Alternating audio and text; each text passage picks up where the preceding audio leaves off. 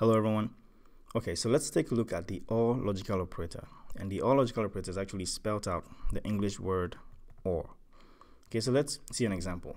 So um, let's write a little program that's going to check, okay, between two uh, student ages, it's going to check to see if there's at least one person who has an age below the age of uh, below the age of 18. If one person, at least one person has an age below 18, then the program is going to say there's at least one person um, who has an age below the age of 18.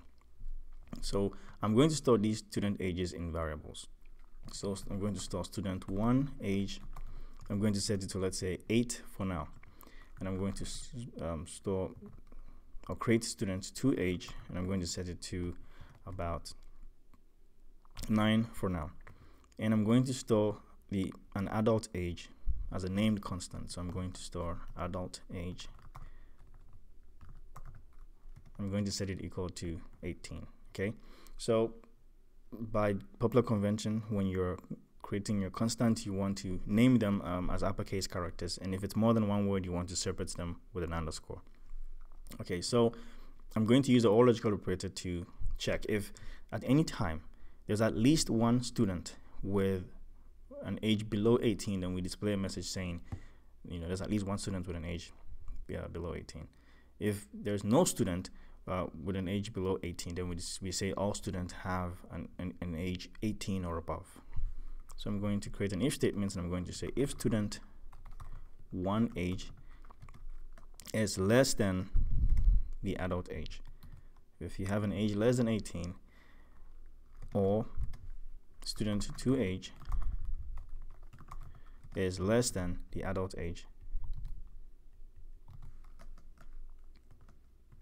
Then I'm going to print out a message saying that there is at least one student with an age below and the good thing is now we have the 18 stored in, an adult, in our adult age constant so we can use it in our print statement this way. By default, when you pass in value, uh, values in the print function, they are separated with a space, they, or they are printed with a space separating them. So this is one argument. This is the other argument. They will be separated with a space when they are printed. All right. Else. Else means that there is no student with an age less than uh, 18. That means the student has all students have an age 18 or above. So print out a message saying all students are or, or have a have a have have an age above 18 right? So we can use again our constant in our print statement. So let me explain how it works.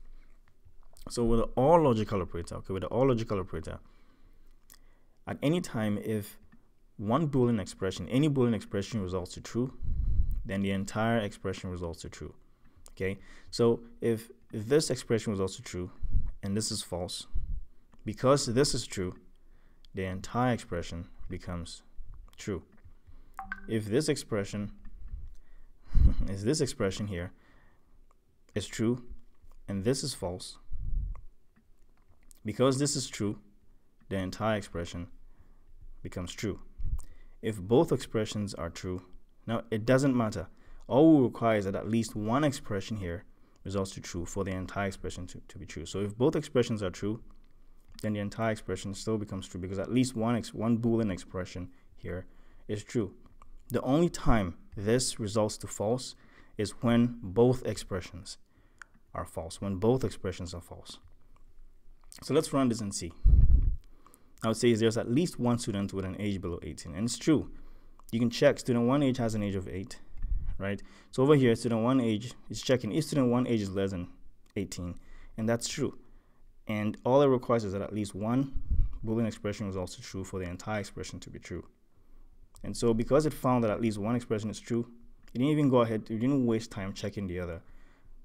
Uh, it just printed out there's at least one student with an age below 18. Well, in this case, it happens that both of them are are, are true. Both students have an age below 18. So because at least one of them is true, the entire expression was also true. I'm going to change one of them again to let's say uh, 56. All right, so I'm going to run this program, and it still says there's at least one student with an age below 18. So it checks over here, student one age less than adult age. So student one age is 56. 50 is 56 less than 18? No, right? So this is false. But it comes here and it checks is 9 less than 18? Yes. So because at least one Boolean expression was also true, the entire expression was also true. And we know with an if statement when this header, when, when this Boolean entire Boolean expression was also true, or when this the value here, or the expression here results to true, then what's in the if block is going to run. And that's why we still see there's at least one student with an age below 18.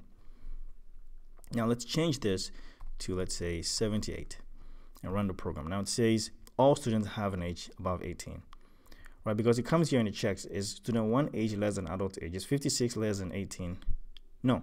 So this is false. And it comes here and it checks is student 2 age less than adult age is 78 less than 18 no. So this is false. So both expressions are false. And the only time this results to false is when both expressions are false.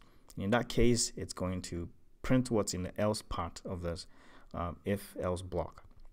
So and that's why we see this statement. All students have an age above 18. Okay, so in the next video, we're going to see an example program of how, um, you know, basically make more sense out of the OR logical operator. All right, so if you have any questions, please comment down below as, as usual and as always, and I'll do my best and do everything to respond to them. Thank you very much for watching. Take care of yourselves, and I'll see you next time with the next video. All right, then. Bye-bye.